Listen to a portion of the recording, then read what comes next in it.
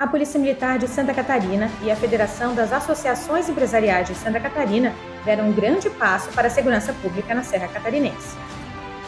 No último dia 2 de maio, em encontro online, membros da PM da FACISC definiram o cronograma do Protótipo Alfa Ordem Pública 5.0, um projeto inovador focado em aprimorar a segurança nos municípios da região.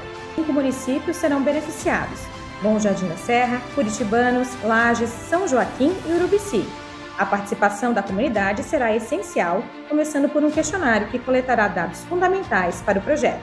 O protótipo Alfa busca reduzir a violência e fortalecer as comunidades com estratégias inovadoras e colaborativas. Em 12 meses, queremos entender o que causa violência nessas cidades e traçar um plano efetivo para reduzir esses indicadores.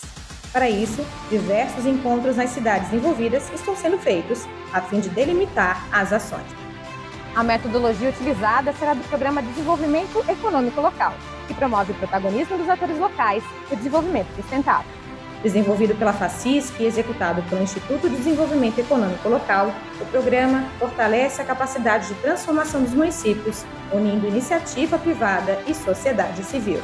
O projeto Alfa é mais um exemplo de como a união entre comunidade e instituições pode transformar realidades. Fique atento aos próximos passos e participe. Polícia Militar. Preservar a ordem, proteger a vida.